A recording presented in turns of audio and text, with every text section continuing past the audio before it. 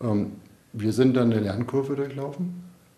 Wir hatten bei der Produktentwicklung vor etlichen Jahren eine zentrale Forschung. Also eine Organisation, die genauso ein bisschen über den Tellerrand rausgucken konnte und äh, äh, nach neuen Produkten, eben nach Lösungsansätzen äh, fahren könnten. Ähm, die zentrale Forschung haben wir in die einzelnen Business Unit aufgeteilt, weil wir eben näher an den Markt sein wollten. Ähm, und damit haben wir relativ viel an diesen Schnittstellen, die für uns wichtig waren, eben zerstört. Und es ist ganz banal, wenn Leute nicht mehr zusammensitzen und sich am Klo oder in der Kantine oder sowas über, über tägliches Leben sozusagen im Job unterhalten können, dann kann einiges zerstört werden.